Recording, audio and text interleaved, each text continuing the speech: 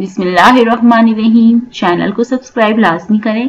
जवानी में मर्द को हर औरत ही अच्छी लगती है और औरत को हर मर्द की मोहब्बत सच्ची ही लगती है। औरत का बस देख लेना भी मर्द को अदा लगता है और मर्द का बस जरा सी फ़िक्र करना औरत को मोहब्बत की इंतहा लगता है। ये उम्र ऐसी ही जज्बाती होती है और हम इसी जज्बातीपन को मोहब्बत का नाम देकर एतराफ मोहब्बत कर लेते हैं।